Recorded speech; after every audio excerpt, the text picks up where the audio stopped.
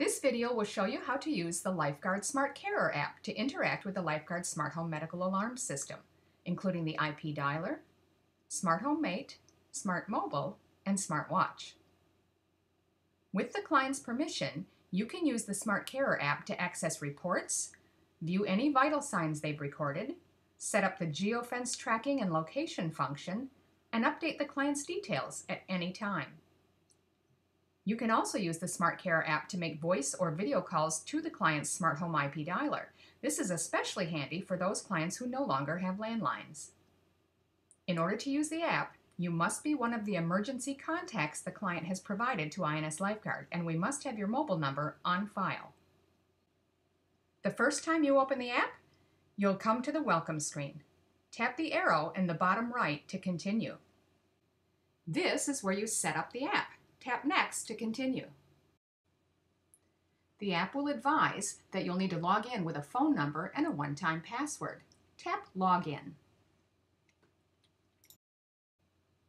The app will display a disclaimer. You must read and accept the conditions in the disclaimer to continue using this app. The app will now display a verification screen. Here you can choose to view our terms of service and privacy policy if desired.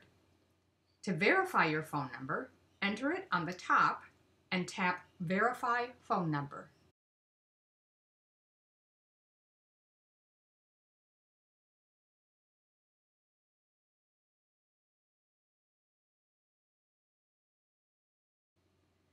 Once you've entered your phone number, we will send a password via SMS. When you receive the code, simply tap to copy it and then paste it into the app, or you can type it in directly.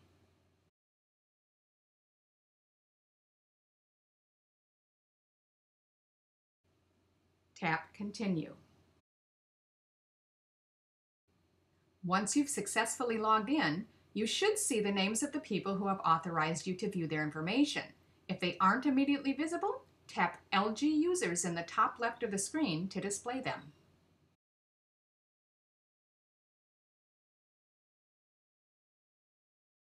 The three icons at the top of the home screen are the main menus.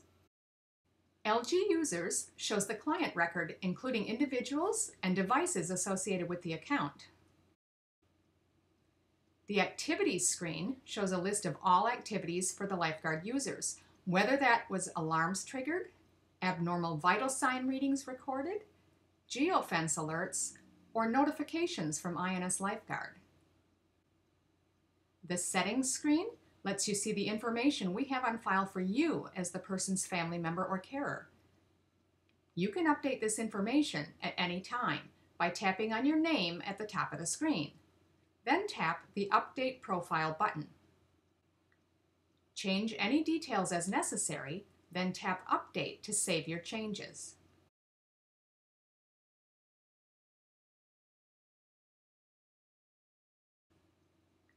Tap the arrow at the top to return to your user profile.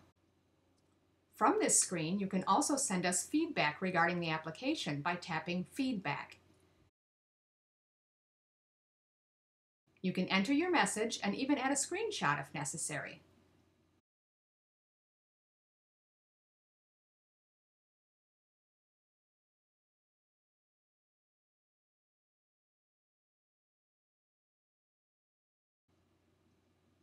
Tap Send, choose your preferred email program, and just send the email.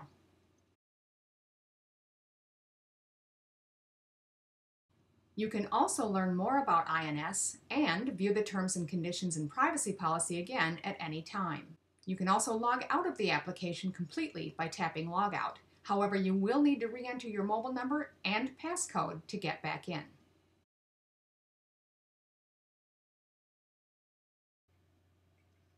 To view or edit the client information, tap LG Users in the top left. Below each client name, you'll see all devices assigned to that client. This could include the Lifeguard Smart Home IP Dialer, the Smart Home Mate, Smart Mobile, or Smart Watch. Clients who appear under the heading Active Monitoring are those who have granted you their permission to view or edit their information. Those under inactive monitoring have listed you as an emergency contact but have not granted permission to view or edit their information. You can request permission from someone who hasn't yet granted it by tapping their name, then tap Send Request. You'll see confirmation that your request has been sent. The client will be notified on their alarm system that you have requested this permission, which they can then choose to approve. For those listed under active monitoring who have given their permission, you simply tap the client name to access reports, alarms, and activities. To view reports, tap Reports. Choose a date range,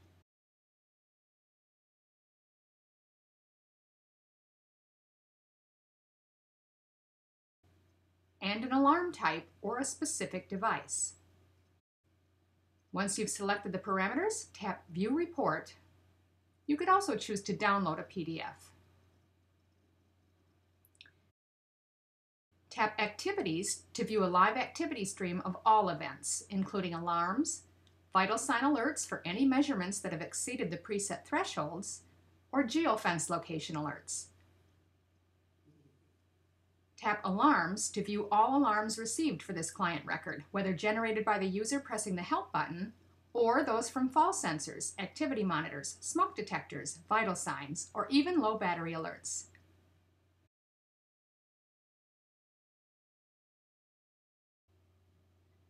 Immediately below the file name, you'll find the client record, in this case, Frank Smith.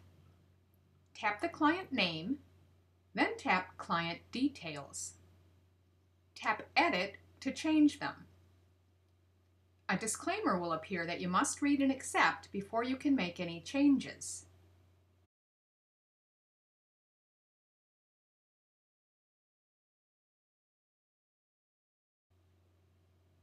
When finished, tap the Save button to save your changes. Tap on Vital Signs then choose a category to view any vital sign measurements the client has recorded.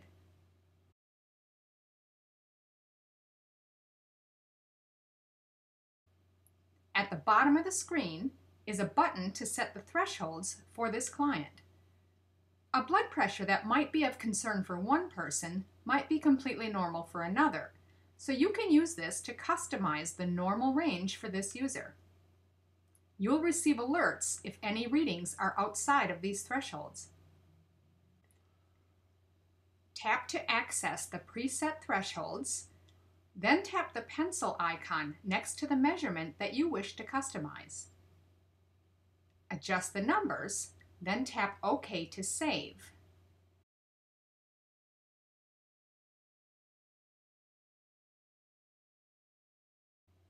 If you wish to reset it back to our default settings, tap the Reset button.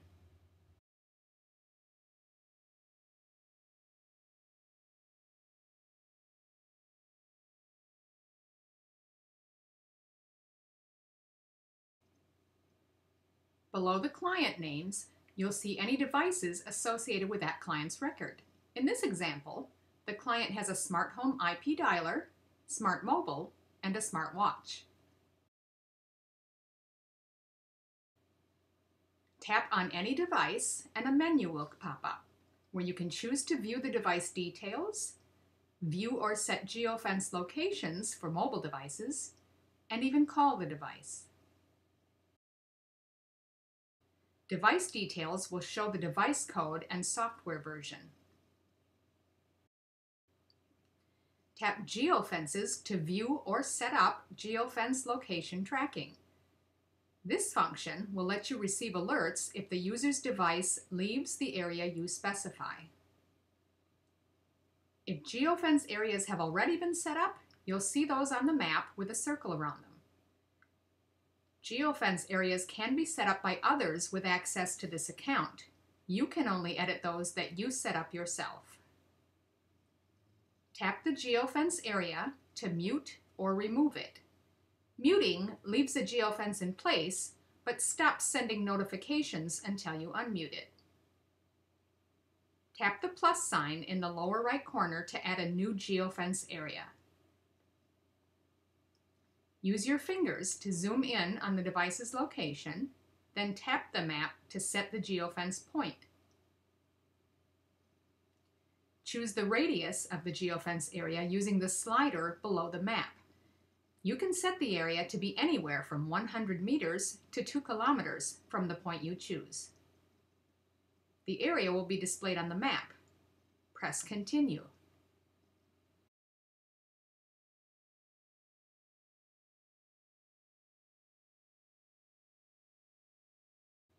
Now enter a label to identify this particular geofence, for example, home. Then tap Continue. Your geofence location is saved and displayed on the map. You will now receive alerts anytime the device leaves the specified area. This is useful for clients who may have dementia or be at risk of wandering so that loved ones can be notified. Another useful feature is the ability to call the user's device via either audio or video call. Tap the device you wish to call, then tap the call button, and it will automatically call the device. To hang up, tap the red phone icon. To place a video call, select the device and press the video call button.